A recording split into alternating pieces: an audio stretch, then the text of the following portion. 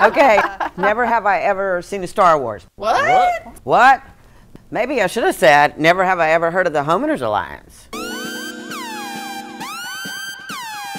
Kathy, the Homeowners Alliance of the Triad is a grassroots group of dedicated homeowners that are passionate about raising awareness of state and local laws and regulations affecting homeownership. The Homeowners Alliance of the Triad defends homeowners against unnecessary homeowners rate insurance increases and works to protect the mortgage interest rate deduction. Plus, they make sure everyone has access to affordable flood insurance and more.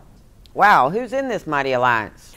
I know the answer to this. There's Alderaan, Yavin 4, Tatooine. Wrong Alliance!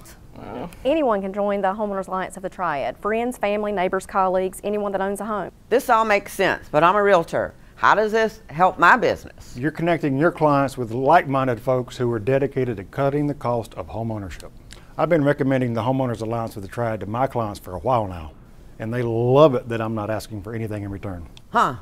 So how much are the dues and whose pockets are they lining? No, dues. There's no, there's no dues. Homeowners can join at no cost. It's a nonpartisan organization that works with all elected officials. They're not on one side of the aisle or the other, they're on the side of homeowners. Not on the dark side.